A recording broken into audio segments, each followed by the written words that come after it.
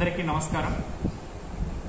మన మచిలీపట్నం రెవెన్యూ డివిజన్లో ఈ రోజు నుండి అంటే మే ఐదవ తేదీ నుండి మధ్యాహ్నం పన్నెండు గంటల వరకే షాపులకు సంబంధించినటువంటి ఈ యొక్క వర్తక వాణిజ్య వ్యాపారాలకు సంబంధించి జరిగేటటువంటి లావాదేవీలు జరుగుతాయి. పన్నెండు గంటల తర్వాత పూర్తిగా అన్ని షాప్స్ క్లోజ్ చేయాల్సినటువంటి అవసరం ఉంది. అదేవిధంగా పబ్లిక్ మూమెంట్ కూడా మధ్యాహ్నం పన్నెండు గంటల నుండి మరుసటి రోజు ఉదయం ఆరు గంటల వరకు పూర్తిగా కర్ఫ్యూ అనేది విధించబడుతుంది. దీనికి సంబంధించి ఇప్పటికే మన రాష్ట్ర ప్రభుత్వము అదేవిధంగా గౌరవనీయులు జిల్లా కలెక్టర్ గారు కూడా మనకు ప్రొసీడింగ్స్ ఇచ్చి ఉన్నారు. ఈ ప్రొసీడింగ్స్ ప్రకారం ఉదయం ఆరు గంటల నుండి పన్నెండు గంటల వరకే అన్ని మూమెంట్ అనేది పబ్లిక్ మూమెంట్ కానీ షాప్స్కి సంబంధించినటువంటి ఓపెనింగ్స్ కానీ జరగాలి. అవన్నీ కూడా పన్నెండు తర్వాత పూర్తిగా క్లోజ్ చేస్తారు. అయితే ఆరు నుండి పన్నెండు గంటల వరకు కూడా వన్ ఫార్టీ ఫోర్ సెక్షన్ అనేది అమల్లో ఉంటుందని కలెక్టర్ గారు సూచించడం జరిగింది. అంటే ఆరు నుండి పన్నెండు గంటల వరకు ఉదయం ఆరు గంటల నుండి మధ్యాహ్నం పన్నెండు గంటల వరకు కూడా ఎక్కడ గ్యాదరింగ్స్ అనేవి జరగకూడదు వితౌట్ పర్మిషన్ కేవలము ఐదు మంది లోపు మాత్రమే గ్యాదరింగ్కు అనుమతి ఉంది. ఐదు మందికి మించి గ్యాదరింగ్ అనేది జరిగినట్లయితే వారి మీద చట్టరీత్యా చర్యలు తీసుకోవడం జరుగుతుంది. కాబట్టి ప్రజలందరూ కూడా ఈ విషయాన్ని గమనించాలి. ఈ రోజు నుండి మధ్యాహ్నం పన్నెండు గంటలకు పూర్తి స్థాయిగా మొత్తము బంద్ అంటే లాక్డౌన్ పాక్షికంగా లాక్డౌన్ అనేది విధించబడుతుంది. అయితే కొన్ని డిపార్ట్మెంట్లకు సంబంధించి కొంత ఎగ్జామ్షన్స్ అనేది గవర్నమెంట్ వారు ఇవ్వడం జరిగింది. ముఖ్యంగా ప్రింట్ అండ్ ఎలక్ట్రానిక్ మీడియాకు సంబంధించి వారి యొక్క ఐడి కార్డులు చూపించినట్లయితే అక్రిడేషన్ కార్డ్స్ వారికి ఎగ్జిబిషన్ అనేది ఉంటుంది. అలాగే టెలికమ్యూనికేషన్స్ అదేవిధంగా బ్రాడ్కాస్టింగ్ ఇతర ఐటీ సేవలకు సంబంధించిన వారికి సంబంధిత ఐడి కార్డుతో వారికి కూడా ఎగ్జిబిషన్ అనేది ఇవ్వడం జరిగింది. అట్లాగే పెట్రోల్ పంపులు తర్వాత ఎల్పిజి గ్యాస్కు సంబంధించినటువంటి వారికి కూడా ఎగ్జిబిషన్ ఇవ్వడం జరిగింది. తర్వాత విద్యుత్ అంటే పవర్ జనరేషన్ కానీ లేదా రిపేర్స్ చేసేటటువంటి వ్యక్తులు కానీ ఆ డిపార్ట్మెంట్కి సంబంధించి కన్సర్న్ ఎలక్ట్రిసిటీ డిపార్ట్మెంట్ వారికి ఐడి కార్డులు చూపించినట్లయితే వారికి కూడా ఎగ్జామ్షన్ అనేది ఉంది. తర్వాత వాటర్ సప్లై అండ్ శానిటేషన్ తర్వాత కోల్డ్ స్టోరేజ్ అదేవిధంగా వేర్ హౌసింగ్ తర్వాత ప్రైవేట్ సెక్యూరిటీ అంటే మన హాస్పిటల్ దగ్గర ఉన్నటువంటి సెక్యూరిటీ కావచ్చు లేదా ఎవరైనా కావచ్చు వీరందరికీ కూడా తగినటువంటి ప్రూఫ్ ఉన్నట్లయితే వారికి కూడా ఎగ్జామ్షన్ అనేది ఇవ్వడం జరుగుతుంది. తర్వాత చాలా ప్రభుత్వ కార్యాలయాలు ఉన్నాయి.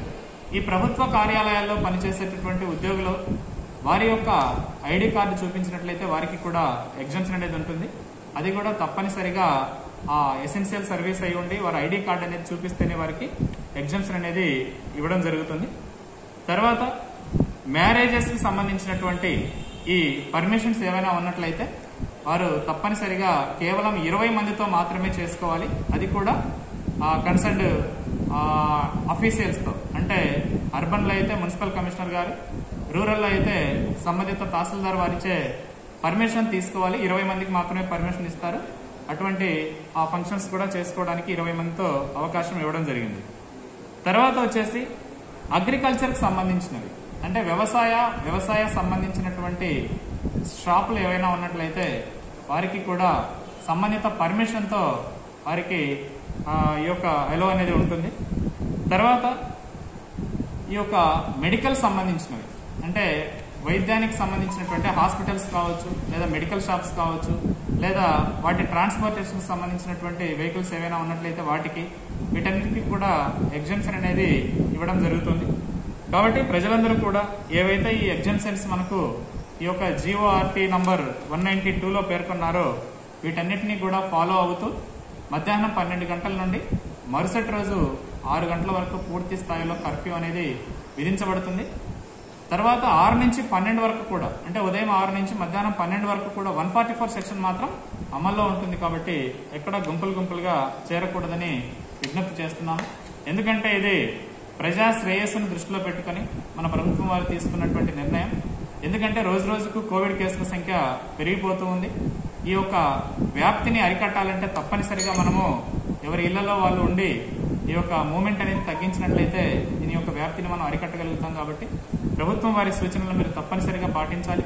ఒకవేళ పాటించకుండా వైలెట్ చేసినట్లయితే డిజాస్టర్ మేనేజ్మెంట్ యాక్ట్ ప్రకారం అదేవిధంగా IPC one eighty eight section ప్రకారం తప్పనిసరిగా వారి మీద చర్యలు తీసుకోబడతాయి. కాబట్టి ప్రజలందరూ ప్రభుత్వం వారి యొక్క గైడ్ లైన్స్ను మీరు ఫాలో అవుతారని కోరుకుంటూ ఉన్నాం. థ్యాంక్ యూ అందరికీ శిరసా నమామి మనసా సెకండ్ వేవ్ ఉధృతం ఉధృతంగా ఉన్న ఈ సందర్భంగా గవర్నమెంట్ బహుముఖ కోణంలో ఆలోచించి అన్ని రకాల కండిషన్స్ పెడుతూ ఆ కండిషన్స్లో ప్రజల యొక్క జీవనభృతి దెబ్బతినకుండా అన్ని చర్యలు తీసుకోమని చెప్పి GO number one nine two two ద్వారా తెలియజేయటమైనది దీనిలో భాగంగా మేము కర్ఫ్యూ అమలు చేస్తున్నాము. అమలు చేసే విధానంలో మా మానవతా దృక్పథం ఎలవేళలా ఉంటుంది. కానీ ప్రజలు అర్థం చేసుకొని గురజాడ అప్పారావు గారు చెప్పిన అట్లు ఒట్టి మాటలు కట్టి పెట్టబోయి గట్టి మేలు తలపెట్టబోయి అన్నది గవర్నమెంట్ మోటివ్ ఈ జీవో సందర్భంగా.